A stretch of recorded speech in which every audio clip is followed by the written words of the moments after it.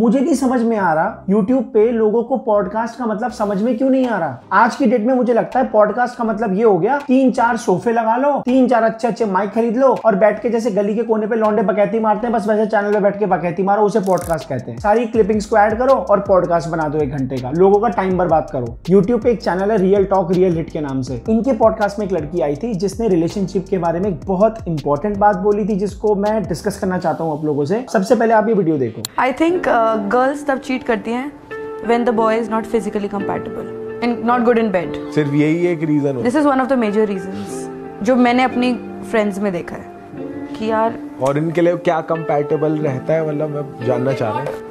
Satisfy a girl on bed then i think it is a big turn off.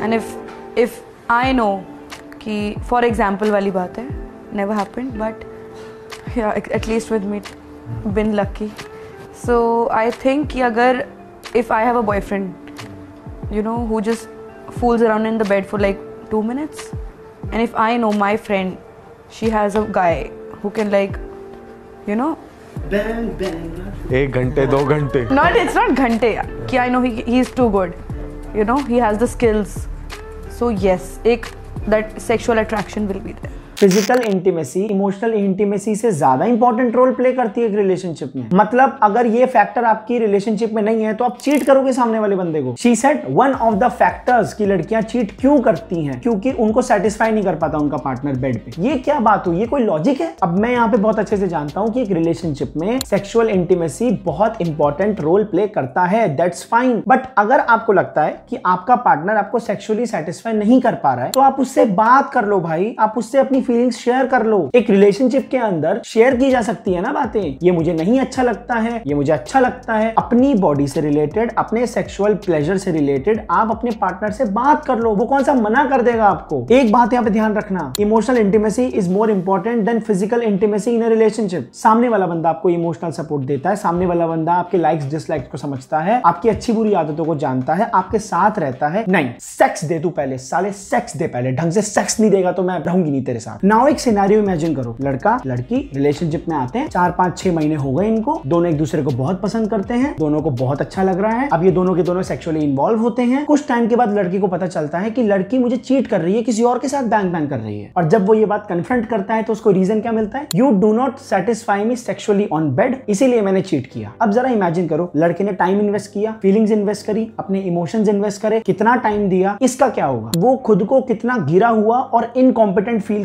करेगा भाई उसको, उसकी मर्दानगी पे डाउट होगा। अब जब ये लड़का किसी नए रिलेशनशिप में जाएगा ना तो इसके दिमाग में इमोशनल इंटीमेसी से ज़्यादा सेक्सुअल इंटीमेसी घूम रही होगी। गूगल पे जाएगा टाइप करेगा, कैसे एक लड़की को सेटिस्फाई करें? How do I satisfy a girl on bed और पता चले वो लड़की इस बात को भाप जाए कि ये तो सेक्स के लिए आया है। वो इसको फिर छोड़ के चली जाएगी। फंस जाएगा ये तो बेचारा। स्ट्रॉन्ग रिलेशनशिप जो होते हैं, वो सबसे पहले इमोशनल और साइकोलॉजिकल इंटीमेसी पे बेस्ड होते हैं। ये दो मेन बड़े पिलर्स हैं जिसके ऊपर आपका रिलेशनशिप खड़ा होता है। देन कम्स योर बॉडी का part then comes your sexual intimacy अगर आपके रिलेशनशिप में इमोशनल इंटीमेसी वाला पार्ट है ही नहीं, सिर्फ़ आप फ़िज़िकल इंटीमेसी ढूंढ रहे हो it is as good as going to a call girl अब एक चीज़ सोच के देखना, जितने भी लड़कों ने ये रील देखी होगी 80% लड़कों के दिमाग में यही बात घूमी होगी कि हाँ भाई, अगर लड़की को सेक्सुअली सेटिस्फाई नहीं किया ना तो लड़की चीट कर जाएगी। पागल हो क्या? यूट्यूब पे और इंस्टाग्राम पे अगर आप कोई भी वीडियो देखते हो रील देखते हो, आपको लगता है कि यार इस चीज़ पे बात होनी चाहिए और मैं आपकी आवाज़ बन सकता हूँ तो डेफिनेटली आप मुझे इंस्टाग्राम पे उस वीडियो का लिंक शेयर कर देना। मैं ज़रूर उस पर वीडियो बनाने की कोशिश करूँगा and I will meet in the next video bye